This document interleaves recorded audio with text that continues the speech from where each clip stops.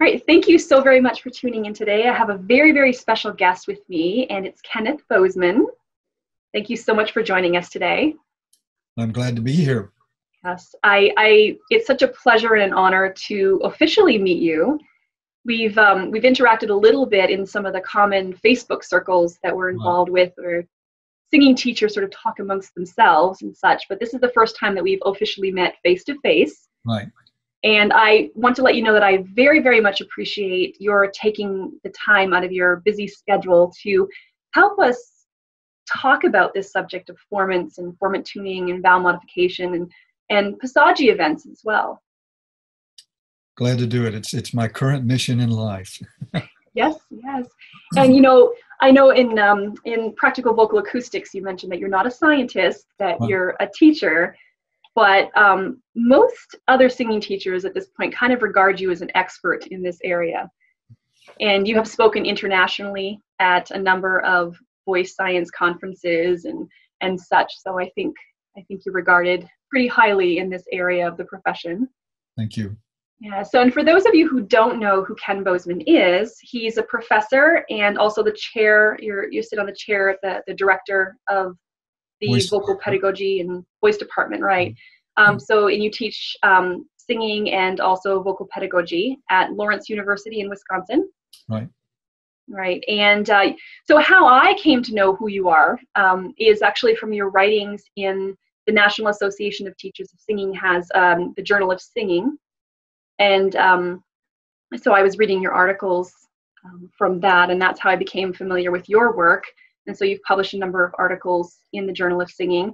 And also you've published a couple books. So you have uh, Practical Vocal Acoustics. And also this year you published Kinesthetic Voice Pedagogy. And I will put the links to those um, um, to the website, to your website, as well as to, you know let people know where you can they can purchase those books if you like. Um, I do have to confess that so because I was following your your writing in um, the Journal of Singing. And when I found out that you were publishing Practical Vocal Acoustics, I pre ordered it. And the day that that book came in the mail, I was so giddy. I was like a child on Christmas morning who had just been given a puppy. And I was like in nerd heaven. And I was so excited to read this book. And um, it was it's, it's a really, really good book. And you have a great knack for taking these really complex and sort of abstract concepts and making them a little bit more accessible, I think, to the average singer who isn't an academic, but more of an artist. So you have a great knack for that. So um, I, I, especially, I especially love practical vocal acoustics. I think there is some um, really great information, some practical stuff in there that um, you know viewers would really appreciate. Well, it's kind of been my mission this the last part of my teaching career. I've taught here for 40 years, but it's uh, in my own work. I'm primarily a teacher. My primary interest is what goes on in the studio. Um, are you ready getting an echo on the?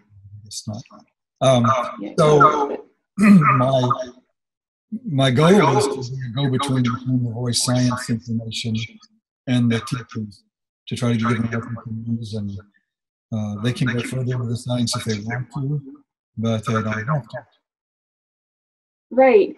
Yes. So that's actually why I asked you here today because um, because this is an area of expertise for you, also a passion for you. Right. And I know that a lot of my readers have really been asking a lot of questions about formants, what they are, and how do you tune formants, and why do we tune formants, and what does it mean? And vowel modification has come up repeatedly. And in a recent video that I published, um, I actually quoted from Practical Vocal Acoustics with your definitions of passive vowel modification and active vowel modification, and trying to um, get to the point where my viewers can sort of wrap their minds around this concept because it does seem rather abstract and sort of kind of out there. And um, so I, I asked you to come in because this is this is your area of expertise, and I think that hearing it from you will be really really beneficial. Good. Well, let me start. And first of all, my apologies for my cold. I may cough some when we chat. Um, yes, and thank you so much for agreeing to do this despite being sick. so, the vocal tract is a, is a tube. It's closed at one end and open at the other end. And that tube has a natural, a natural pitch to it that is its lowest resonance. That if I do this, you can hear about a G4 is the lowest resonance of this tube when one end is closed. That's its first formant. And it has higher resonances as well. And those are just frequency peaks at which the tube will vibrate and it get excited. And in between those frequency peaks, it suppresses any acoustic information you put into it. The tube itself doesn't make any sound. The vocal tract doesn't make any sound. We input sound from the voice source, a set of harmonics, and then the tube selectively resonates some of those harmonics and suppresses other ones before it comes out the other end. So formants are natural resonances of the vocal tract. Um, they're tuned by the overall length of the tube. Like if I make this tube longer, it will be a lower pitch. So the, it, the overall length of the tube is very important in tuning where the various, the whole set of formants sits. So basically, uh, and that actually is huge in determining the vo- vocal category or type. Right. So well, as well as the, the internal dimensions other than length as well. I mean, width plays a role. Actually, the, actually, the width is less uh, determinative of where the whole set sits. And that's because sound travels linearly and it's a question of the sound wavelength, not so much this as that. It has some effect, but it's mostly the length. So the longer the length of the tube, the lower the voice type. The shorter the length of the tube, and that would be from wherever your glottis sits to your lips, would be the tube length. The higher the voice type. And of course, there's all kinds of uh, crossovers. There might be someone whose voice range is baritonal but whose tube length is bass like. So they might have a, a, baritone range with a bass timbre, or vice versa. They might have a, a bass timbre, a long tube, and a baritone range. And those would be like a, you know, Heldentenors, basically a baritone with a higher range. Uh, you know, those, those sense of overlaps. But in general, the thing that determines the overall quality of your uh, uh, timbre of your voice in terms of its depth factor is tube length. Um, anyway, then uh, there are harmonics, as I mentioned. The vocal folds or the voice source modulates the air. It can it converts uh, what you could call a DC flow of air, a direct flow of air, into an acoustic signal. And we actually wanted classical singing, which is my specialty. Uh, I'm asked to comment often on CCM styles, and I'll venture opinions, but I'll always qualify them with the comment that I'm not a specialist. But in classical, we want a clean signal almost all the time. Some styles don't want a clean signal all the time, but we do. So we want all of that airflow converted into harmonics at the voice source. And then that set of harmonics is the raw material out of which we then form the rest of our sound. So we input a set of harmonics into one end of this tube. It selectively resonates those harmonics and sends out into the world the final product out there. I'm going to quickly share a screen to show you how that works. Then, then those harmonics interact with those resonances. I'm going to quickly show you something here. Just a moment. I can find it. Okay.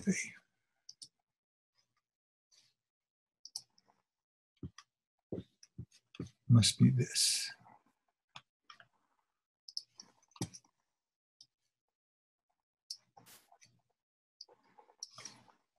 Are you seeing this power spectrum of the vocal tract? I am, yes. Wonderful. This is on my website, kenbozeman.com.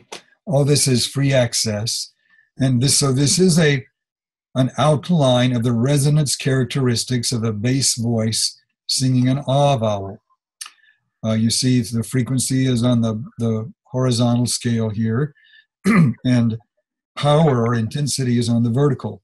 So this bass has a resonance about here. His first resonance or first formant is about there, and then the second formant there. You can use this slider here and input a set of harmonics like this. All right, so as I raise the pitch, it tells you the, the hertz of the pitch down here. So right now, let's see, this is about middle C, right about here. In that case, the bass has two harmonics below the first resonance, there's his third harmonic, his fourth harmonic, and so forth. And so as as he raises the pitch, notice the harmonics, which are all multiples of the first harmonic, they spread out more as multiples would. So as I raise the pitch, the harmonics get further and further separated, and their interactions with the formants changes. Every all the way along the way, each of those changes will make a usually minute change in the sound quality, but sometimes a rather major change. And we'll be talking about that. The main one for male voices is when the second harmonic that's currently right smack in the middle of that first formant there, when it rises through that first formant, that's where the voice turns over.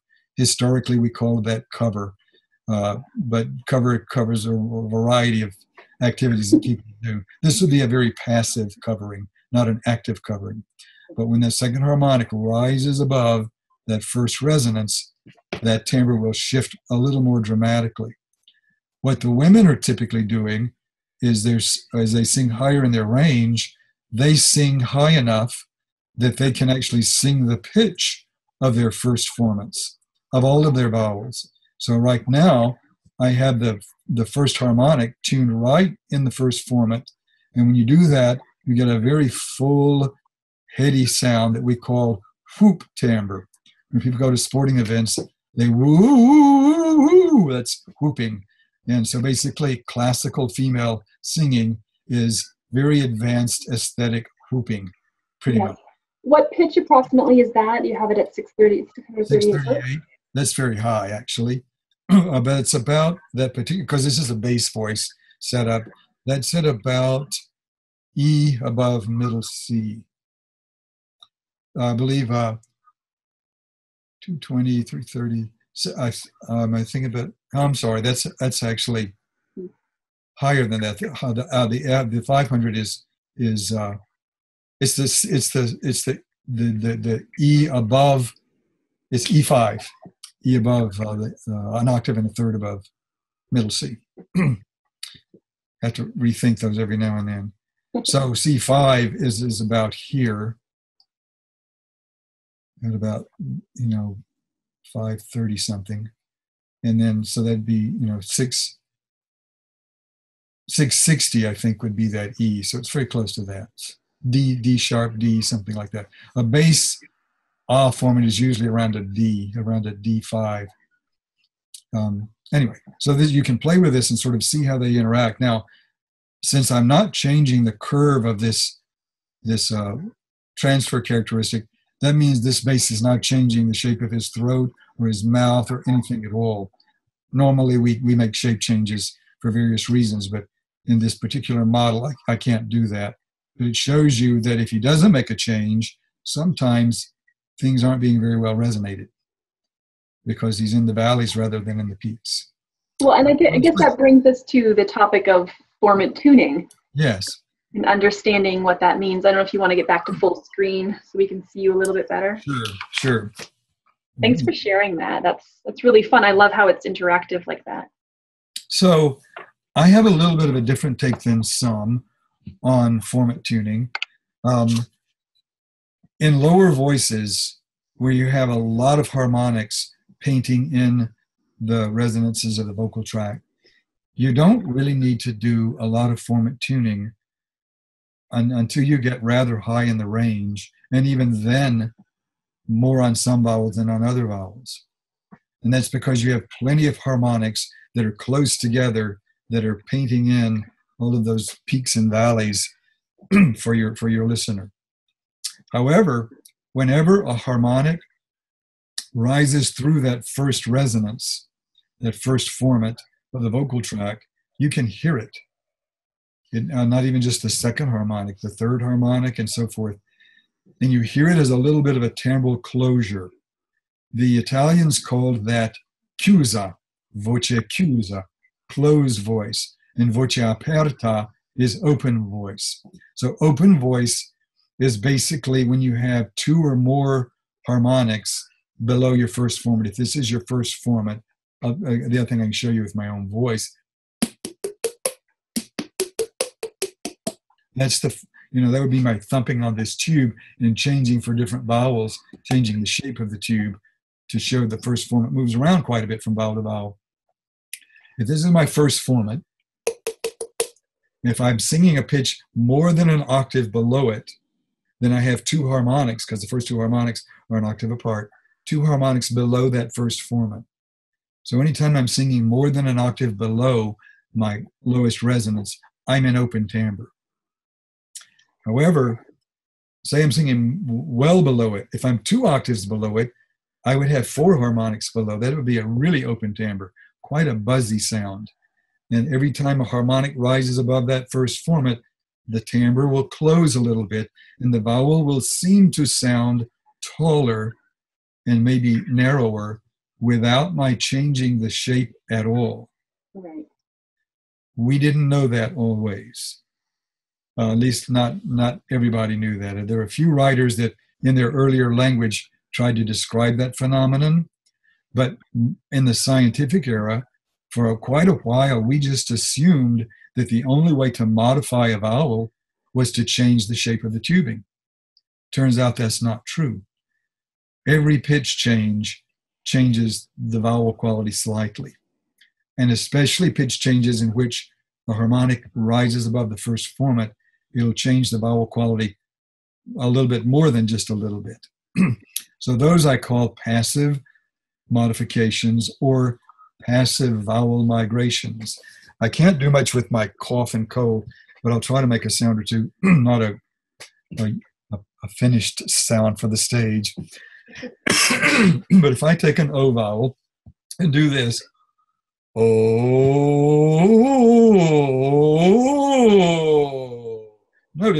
I'm trying my best to keep the shape exactly the same. And also notice that didn't stay an O. That migrated somewhere. I do an ah, ah, ah. It takes on quite a bit of uh, ah, but I'm not shaping uh, ah. I'm shaping ah and changing pitch. Those are passive vowel migrations. Turns out, even if you're healthy, that isn't easy to do because it's not instinctive. The instinctive thing to do is to yell. And when we yell, we try to track that second harmonic by changing the shape of the vocal tract. We go like this. Ah. We raise the larynx and widen the, the mouth. that is basically the strategy for yelling. In an aesthetic modified form, that is the strategy for some people for teaching belt. Because belt is actually trying to imitate the uh, emotional quality of a yell. Because you know when we yell we yell in circumstances of high drama and intensity. This is of course not a um, pejorative to say that belting is like yelling. Unless you do raw yelling then it's not good for you. I mean it's, it's because yelling is very emotional but we learn to do it very carefully so that we don't abuse the vocal folds there's a there you know strategies for doing that. But it's it's imitative of the yell and it even partakes of the yell strategy for a percentage of the time and then it switches over to something that's just sort of imitative of a yell without being a yell. But anyway that's what's going on with uh, interaction between harmonics and the first first formant right well actually in a recent video i also demonstrated this concept of keeping the vocal tract as stable as i possibly can um, and allowing that little turning over to happen um, and just that passive modification to happen. And then also, I did the same thing where I'm like, I raised the first formant, went yeah. into yell, and what happened was my O vowel modified to an ah. I wasn't mm-hmm. thinking about it, but that's what I had to do to stay in that same right. resonance coupling. And um, you know, my demonstration because I was being so focused on just keeping keeping a stabilization here. I mean, it wasn't a pretty turning over of the vowel, and it wasn't intended to be for that demonstration. It was this is what happens. It forces an acoustical shift, a timbral adjustment. Right. Understanding that, I think, is is really important. I was working with a, a male student today, um, a baritone, and we're working on exactly this, learning to acoustically close off the voice. Um, this is what chiusa. And you know and he kept noting it's like wow it just, just sounds different. I'm like yeah but it sounds a little bit more different i think to you than even to me. It's, right. it's not as drastic. And i think over time as we continue to improve the communication that that you know turning over point is going to be a little bit less obvious to the yes. listener and it smooths out and stuff. I've been focusing on this specific topic on my patreon page same thing just um, learning to be able to recognize the sound of that that closing off of the voice the acoustical closing off. And and you do want uh, it, the some of the challenges is aside from the fact that it's not instinctive the instinct is to yell. And then if you tell someone no don't change the shape the instinct is to kind of lock onto something and hold and inhibit. And so you've got to be creative as a teacher to find ways to motivate the sound production that neither results in a fixing or a dampening or a, a, a, trapping or boxing in of the sound, but allows the, the migration to happen. And in my work, increasingly, I have gone toward the use of affect. Uh, because since voicing, anyway, originally and forever and a day, is about um, expressing feeling. Babies voice immediately, and they're not talking language. They're not even thinking about vowels. They're expressing feelings. Now, of course, any sound you make has vowel content because if you've uh, kept up with Ian Howell's work, you know that sound, humans interpret sound frequencies as vowel-like timbres and mixtures of vowel-like timbres. And so any sound we hear as humans is either an identifiable vowel or it's made up of a, a cluster of vowel-like sounds that are maybe too confused for us to hear a single vowel out of it, but it's all vowel like. So babies are making vowels, even though they're not thinking vowels, they're thinking feelings. So if I don't chase the vowel, but I, I suggest a vowel to myself, and then I suggest a vowel, but I insist on the feeling. So if I say, ya, ya, you just track the expressive path that the feeling motivates. And by the way, expression, affect, communication determines pretty much everything. It determines the pitch, it determines the pitch path. Melodic, you know, melody is really just choreography for expression. And when we speak, we speak with melodic inflection and we don't plan it. The expression creates the melody of the inflection. So if I concentrate on the the affective expression, and like you were saying, I reverse engineer. If I've got a, a melody to sing, I think, okay, now what expression would have yielded that particular melodic curve? If I can motivate that feeling, the thing will work a lot better on its own. And so that will help stabilize the, the shape without my fixing or without any rigidity. It's a more supple way of stabilizing things and I don't chase the vowel. The other thing that helps immensely uh, is also uh, picking up on Ian's work and, and, my adaptation of it is realizing that vowels are made up of two vowel qualities. There's an over vowel quality and there's an under vowel quality. And the higher you go, the more the singer will perceive the under vowel quality through the same shape. Wait, do you mind sort of explaining a little bit more about the under and over concept? Yeah. So the under vowel is the vowel quality that is being resonated by the, the lowest resonance of the voice. The over vowel is the vowel quality present in the harmonics or harmonic being resonated by the second formant or second resonance of the voice. So, for example, when I do an, I'll see if I can, I don't know if you'll hear this or not, it'll be a whisper, but I'm going to whisper. You'll hear my second formant pitch, I hope. I'm going to do E, A, Are you hearing?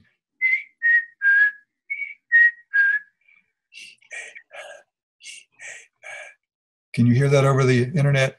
I'm not sure. Maybe I'm not, my hearing is not.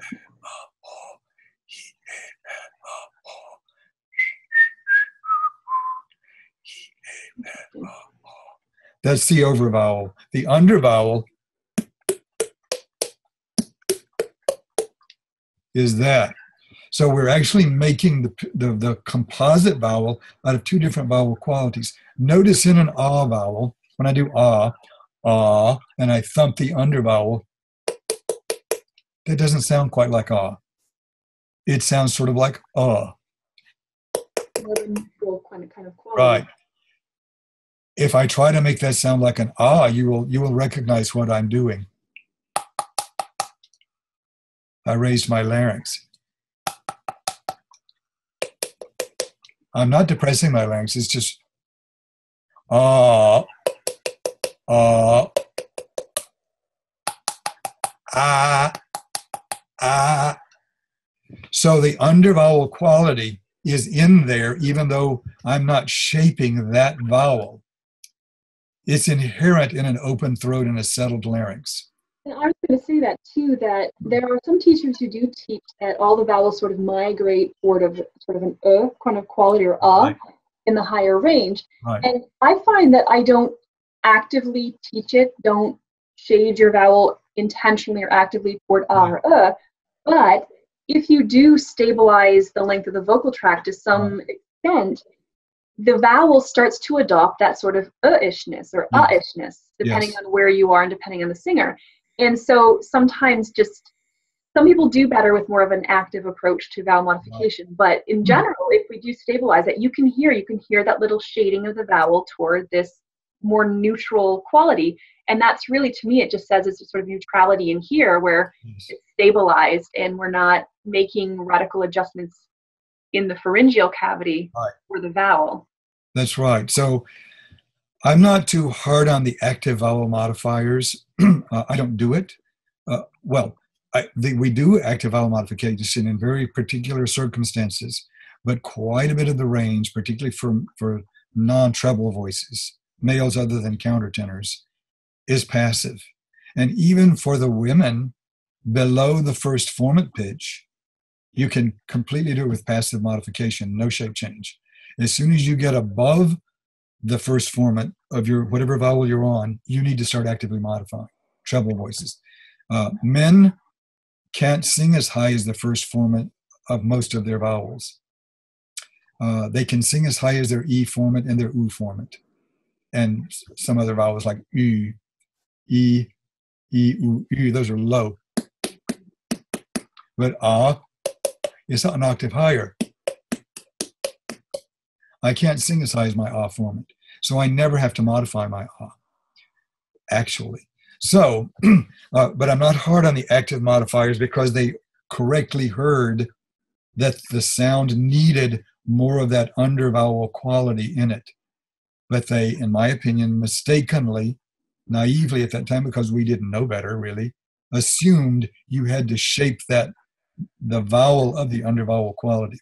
So, for example, the undervowel of an E, perceptually, the undervowels of all vowels, actually, if you isolated them and heard them in isolation, would be U or O. That's because the harmonics in that within the treble clef are U and O. And, and all, all the formants, first formants are within the treble clef.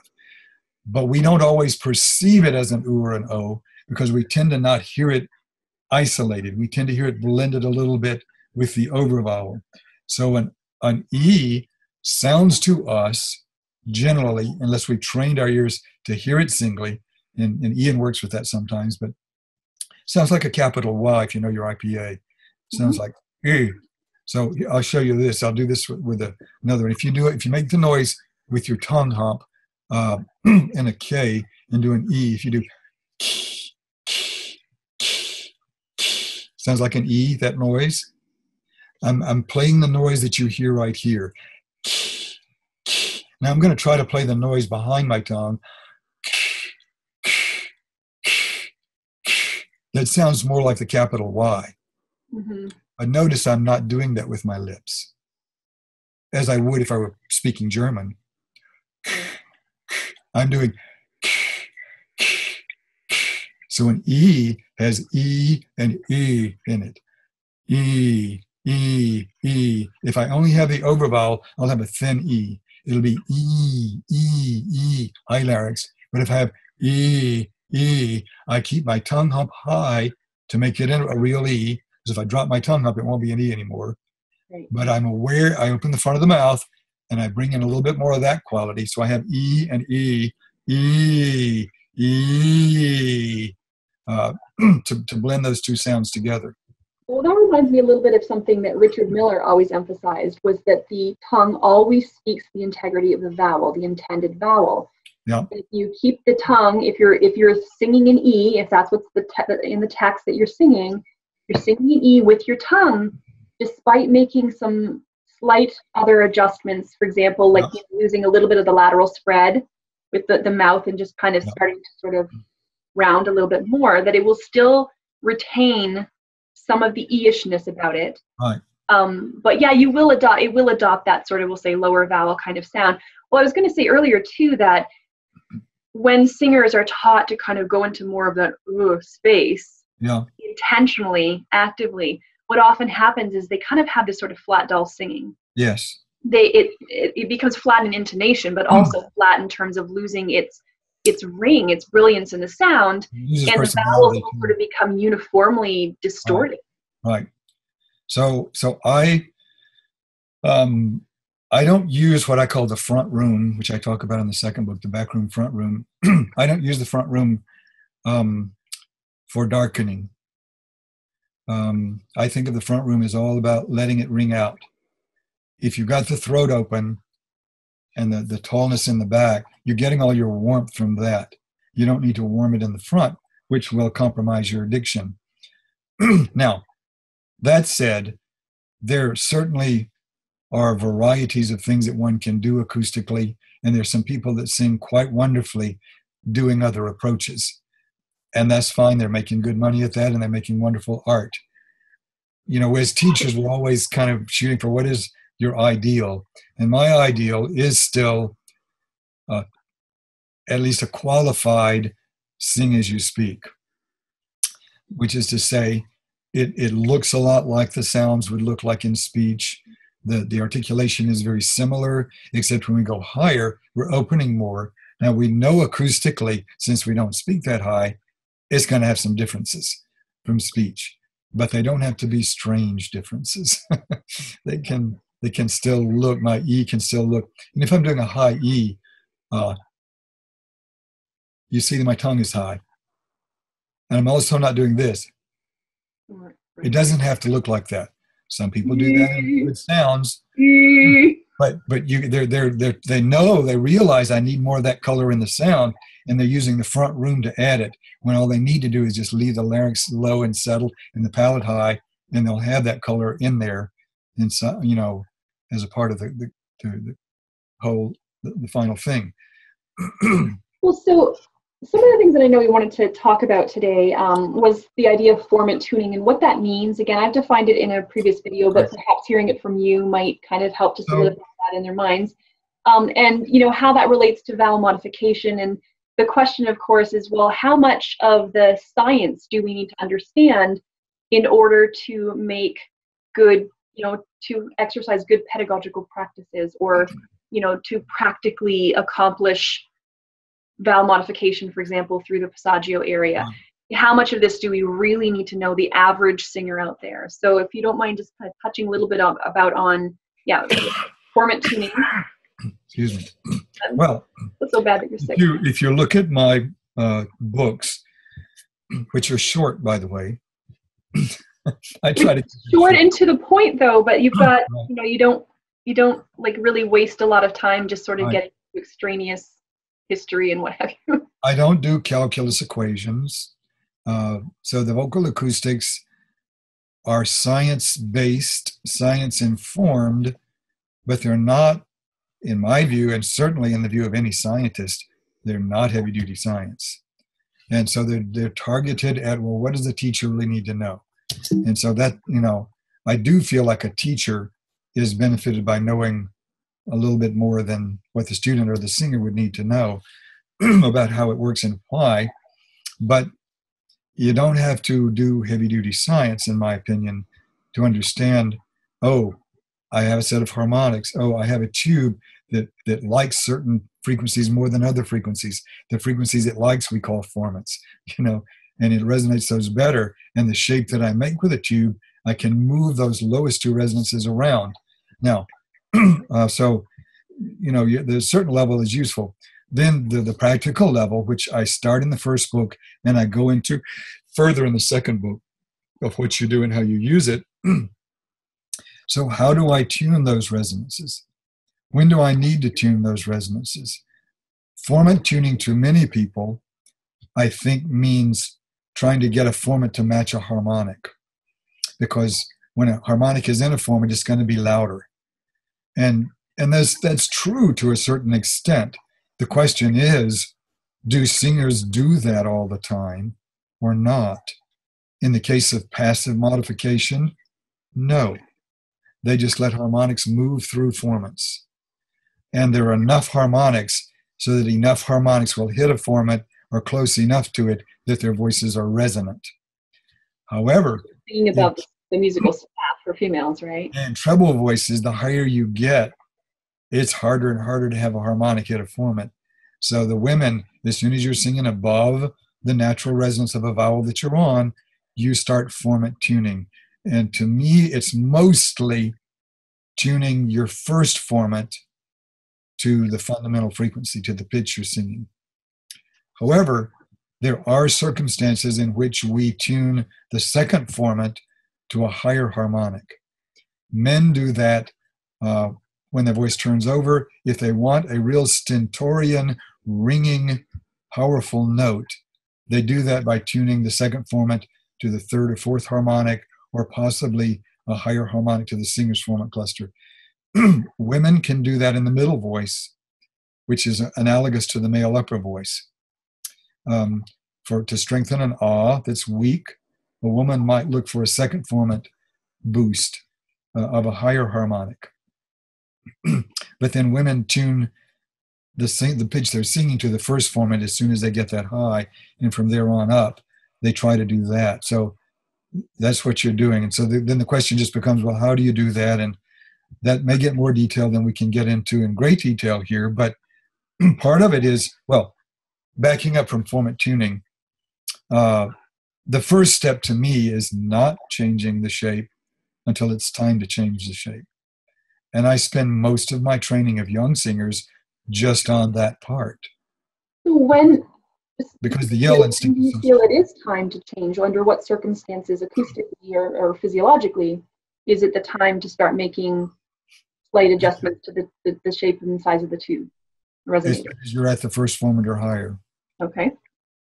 So for the guys, that's that's only an E and a new vowel because they can't sing as the first formant of the other vowels. Right. So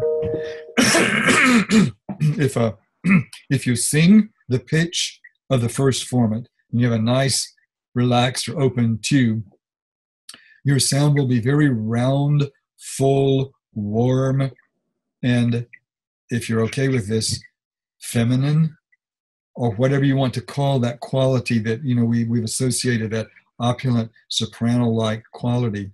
Uh, if, if you want to call that feminine, it isn't necessarily that because men and women can do either sound, okay, but you know we associate it that way. well, males uh, uh, in opera, other than countertenors, don't use that quality that often. They don't want their E vowel to sound like a countertenor or a mezzo and then have their ah vowel on the same pitch sound like a tenor. They want their E vowel to sound like a tenor. They want it to be that ringier, rougher quality rather than that creamier, smoother, um, heady quality, unless they're going for that, that effect.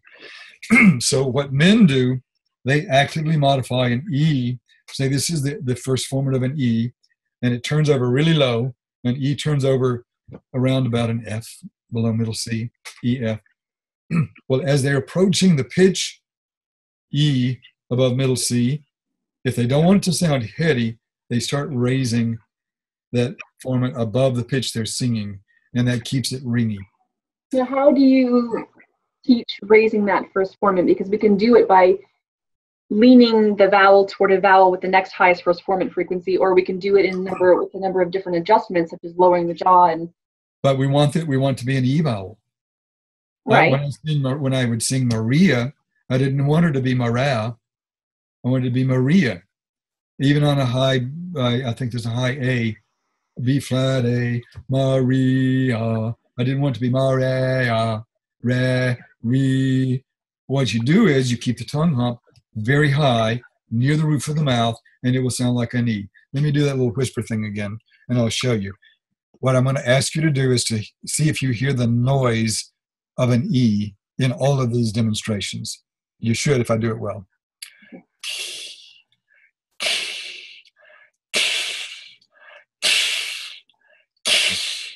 I'm not doing. I can't. Uh, uh, it will cease making a noise at the at the tongue hump if I drop my tongue.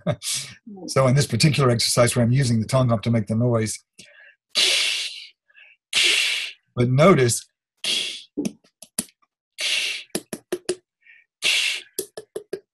it raises the first formant to open my mouth more. Tongue hump stays high, mouth opens, mouth does not cover over. So a little jaw lowering. As I'm sorry? So a little bit of jaw lowering in essence, right? Oh yeah, the, the jaw is being lowered, right. and as opposed it, to shading the vowel, modifying it to an hmm. if, and then right. a, and right. then an f. right, and women can do the same thing rather high, but eventually you get so high that you have to lower the tongue and lose the e vowel a little bit. Right. But, but you can do it probably to an A natural, A flat, A natural, before you, you know, depending, I could play you examples, uh, a, a, very convincing E vowel, but the, vowel, the mouth is open enough that it has a round opulence rather than a stridency. And if you have a sample readily available, we'd love to hear it. Let me find one. I will do that. Hold on. And I'd hmm. also love to hear maybe your take on an O vowel. I think the O is tricky for a lot of individuals going through that passaggio. Okay. A soprano that works with me demonstrating an E vowel.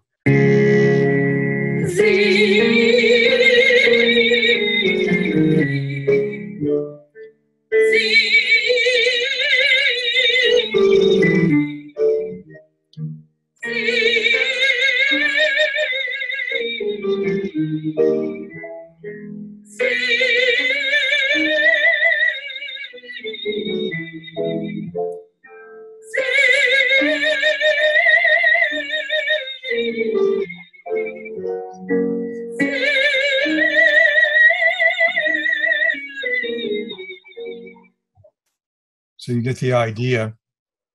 Um, you know, and some people will get to that point by suggesting sing more of an I. I don't go that route, but I don't object to it if it's working. Uh, but I hear I hear a little bit of an I, but. I think again that's just because she's lost a little bit of the lateral spread that we typically have with E. the jaw has started to lower more, and so I think even with the tongue high, it still has an I-ishness about it. Yep, there's some I mixed in. But I guarantee you she's not thinking it. Because if she were thinking it, she would have lowered the tongue further. Yes. And she would have lost further, you know, from it.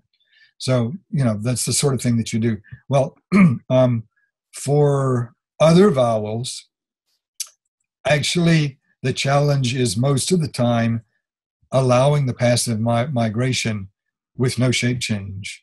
So, for example, women in the middle voice, all through the middle voice and on up, uh, can afford, as long as they're making a really good ah shape, they can sing something that sounds more or less like a happy ah and then a happy uh, but not an uh or an uh shape. Right. so they'll do za ah ah ah ah. Again, I apologize for my voice. and so for them, it's more a matter of allowing the migration to happen because they it's an all on the page. They want to hear ah and they want to fix it, and they don't realize if they sing a good, if they set a good set of harmonics through that shape, we'll get a, an ah that has a little bit of uh, uh mixed with it, but we still accept it as an ah, especially if it looks like an ah. If they haven't made it look like an uh, uh the um, visual perception factor also plays a role. And, and, I mean, I think that's both visual, but I think it's actual as well. Because if you think of the the piece that I want to keep in there is I want a sensation like this uh, acoustically in the sound rather than like this. If I do oh, oh, I want a, a convergent resonator shape and not one that goes that way. Right. if they go that way, if, if they droop, if they think, oh, it's supposed to have some uh, uh and I'll go, oh, they get nothing. They get, you know, uh, because they've drooped the ceiling. There's no height in the back. There's no up and over acoustic sensation. And again, it goes back to that sort of dull, lackluster, and flat in intonation kind of Yes. quality. Ugh, Yes. ugh. It's not a pretty sound. It loses that ring. It loses personality. It loses a lot of things, which is very different from, you know, I think people are that are afraid of that. The old Italian adage of uh, inhale through a smile, it opens your throat. I completely accept that. I think it's completely true. But the, the with qualification, we think of a smile as just a lip thing. And I say, no, actually, the lips are very, very secondary to a smile. A smile is a pharyngeal thing because most affects tune the pharynx to play the sound you want to express. So if I if I'm really smiling, it's more of a an inner setup of my pharynx that also happens to shape my lips somewhat, but it's not about lip spreading. That's very secondary. Uh, I, I think we're you know we're taught to get that little smile up under the eyes, and even though it's not connected to the the soft palate really via muscular attachment, I think it's really what it cues the brain in terms of the hmm. emotional response.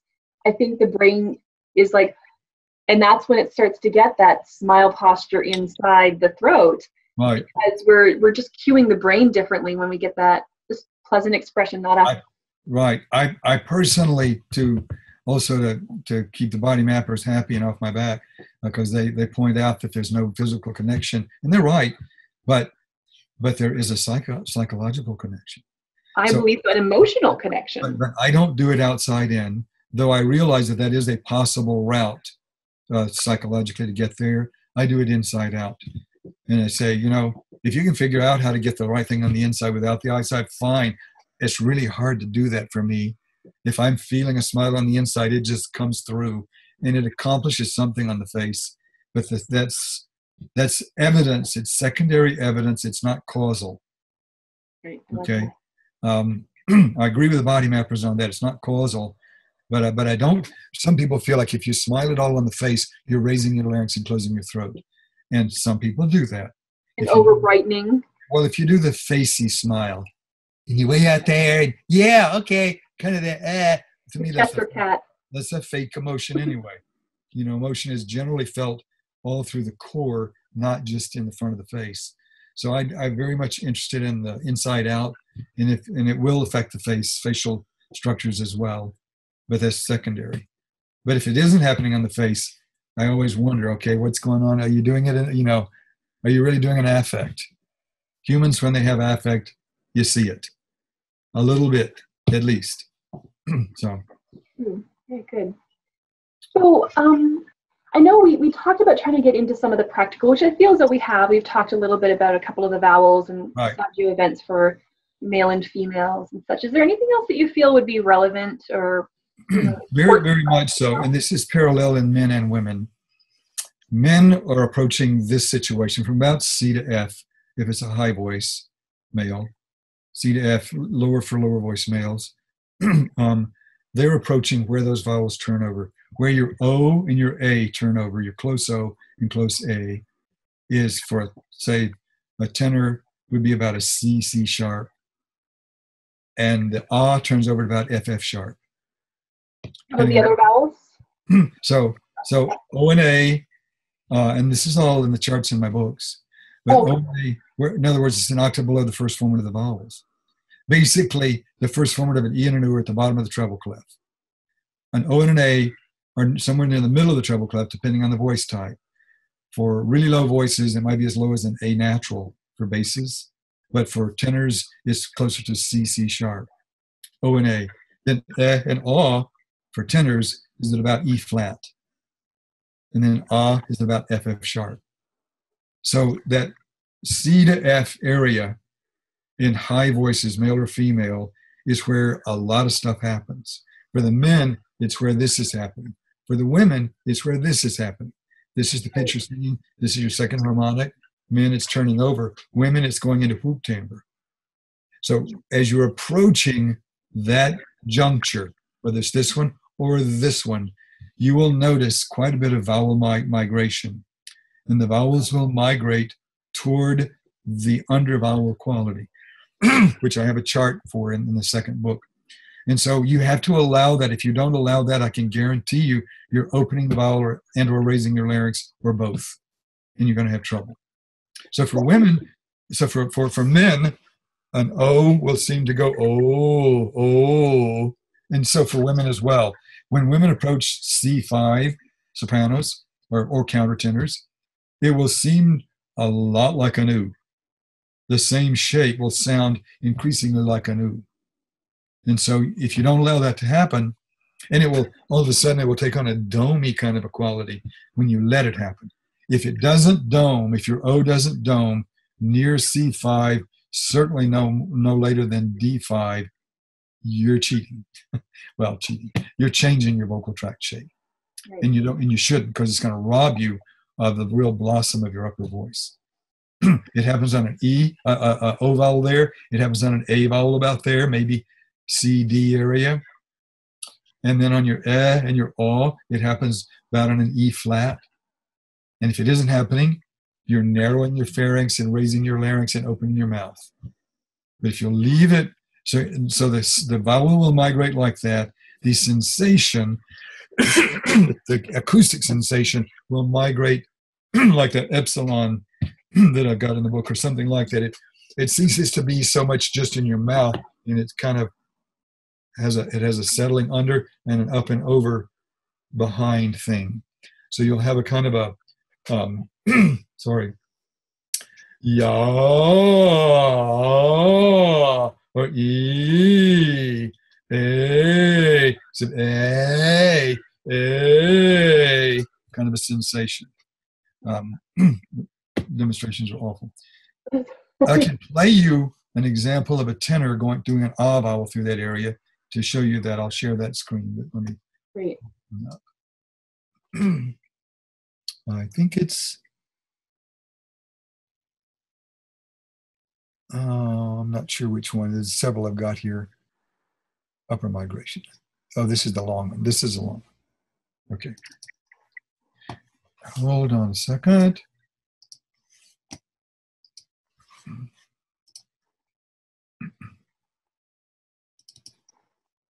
Can you see that screen now? Yes, we can. You hear that turn over a little bit there on the top note?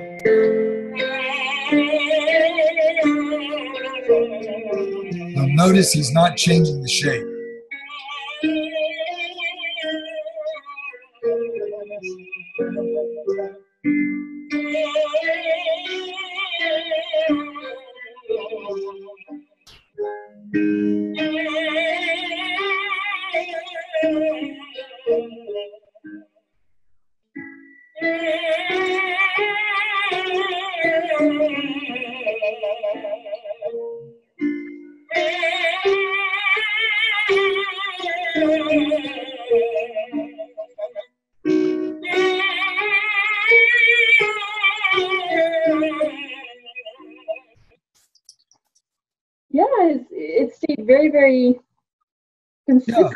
There. And you can definitely hear that turning over very, yeah. very clearly.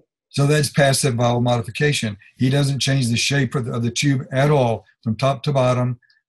And because he can't sing as high as his ah vowel, uh, first formant, so it just modifies itself. But he keeps a very deliberate ah shape, but allows the vowel quality to migrate. So that was an example of that. That's great.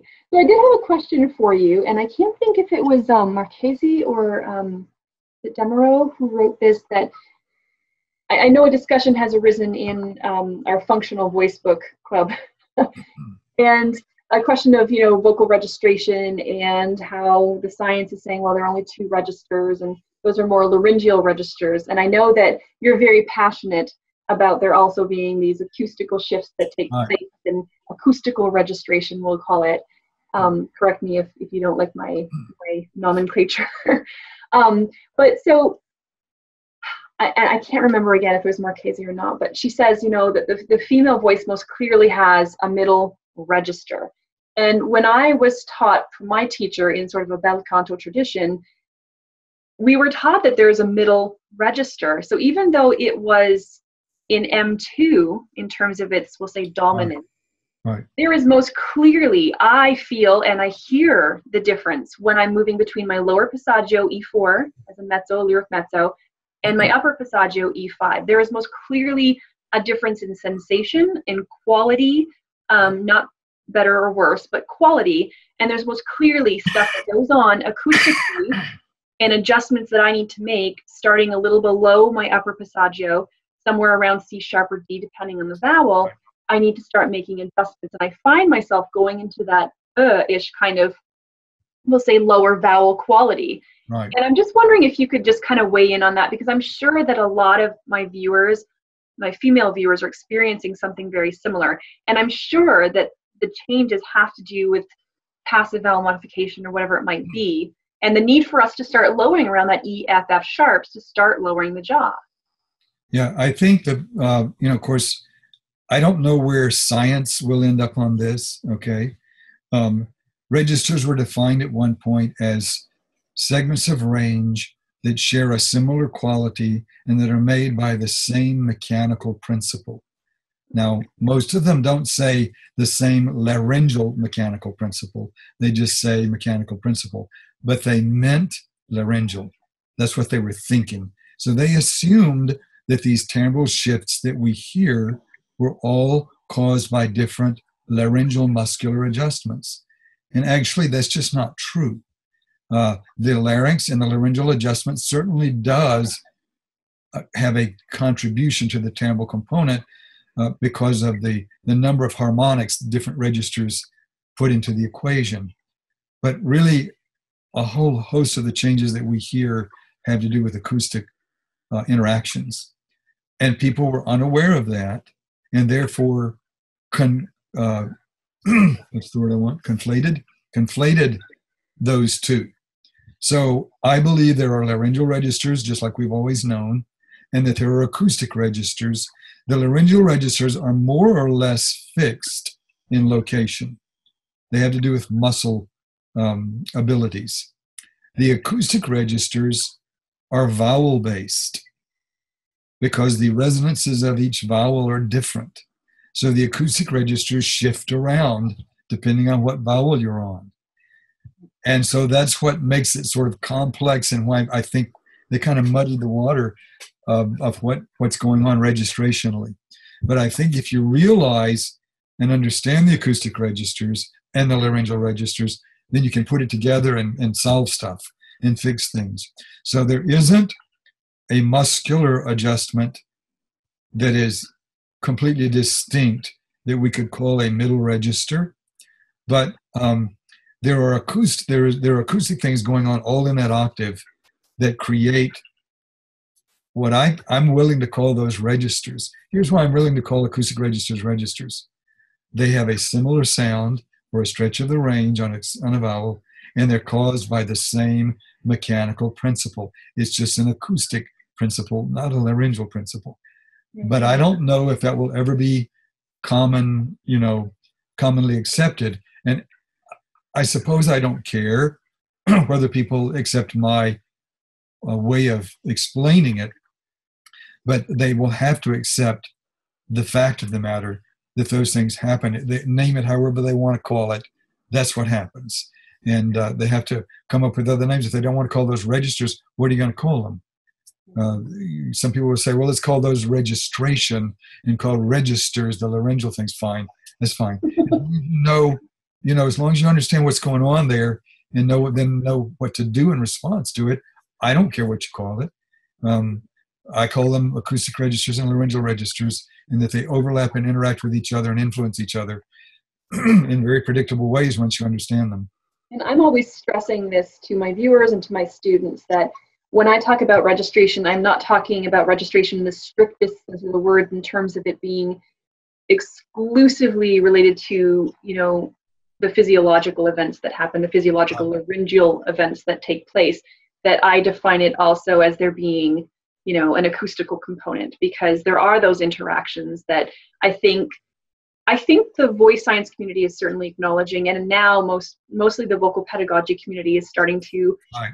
understand a little bit more and then as we continue to disseminate information we're getting a lot more singers who are starting to get those light bulb moments where they're realizing that oh that's what's going on in my voice i've wanted to know this all my life Right. why this is happening and now i understand that there's an interaction between the physiological and the acoustical and that it's it's an indisputable fact Right. and that we need to work with that we need to bring those two into a healthy coordinative relationship because if we don't then we're really depriving ourselves i think of the opportunity to unify our scale and to to really successfully navigate that pa- passaggio area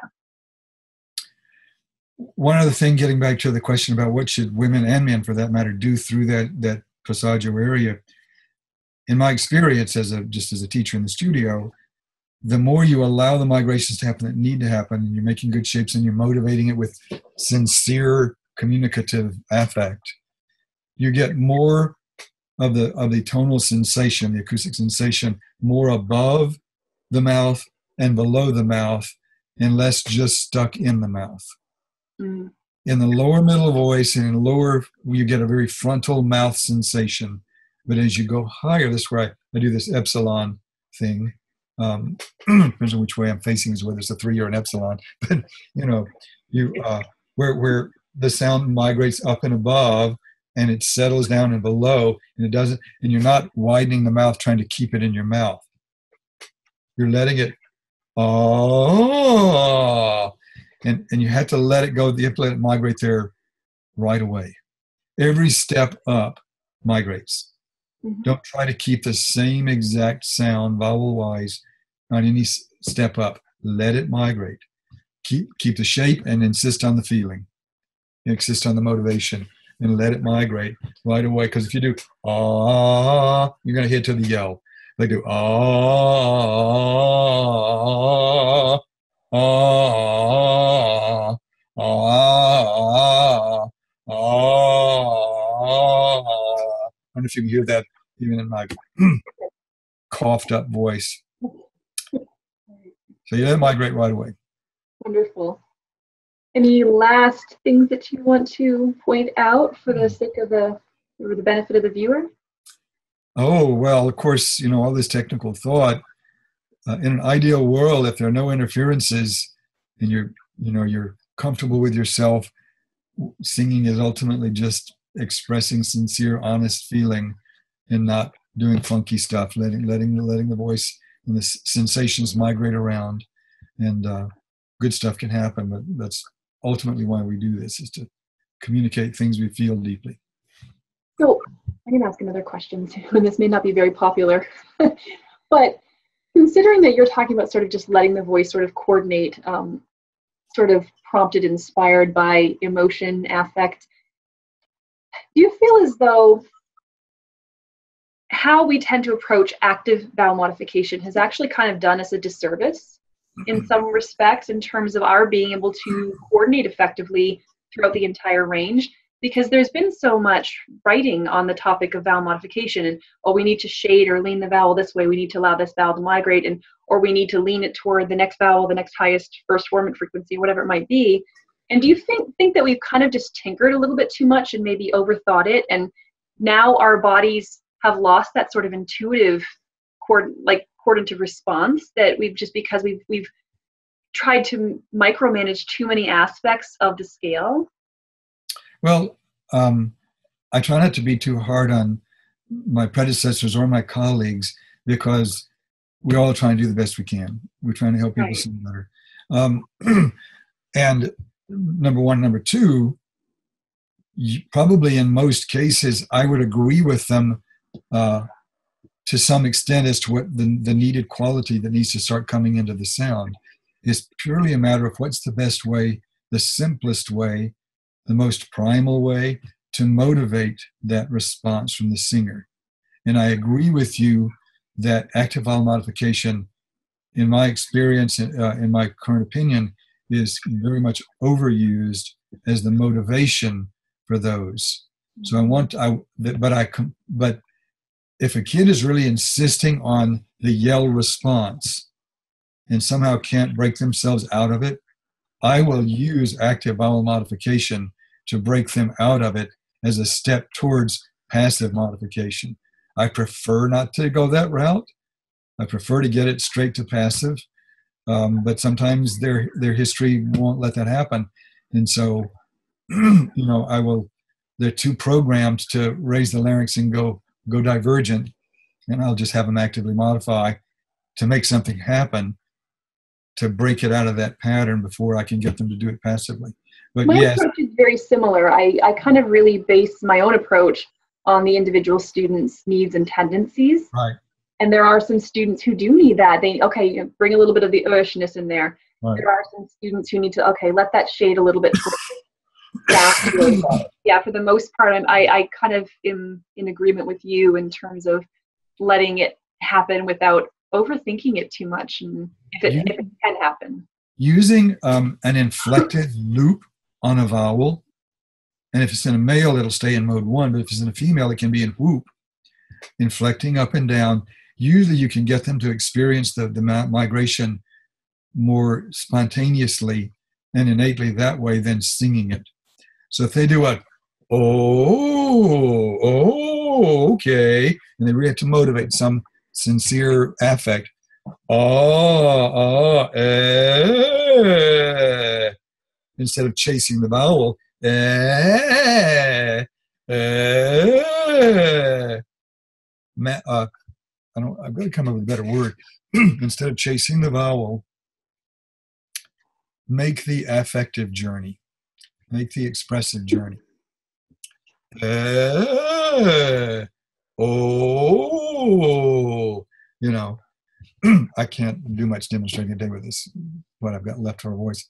But that can be a very that can be a very useful tool for them to to oh the vowel really does migrate quite a bit. I didn't you know, and if they're preoccupied with the feeling that they're expressing, they they manage it but It organizes more innately. Great. So hopefully this is helpful. It has been so fascinating and again i i really am so appreciative of the time that you've taken out to answer our questions and, and just offer your expertise. It's been very, very fun. Great. Good to it's meet you. a pleasure to meet you as well. so thank you so very much. Okay, take care. Bye-bye.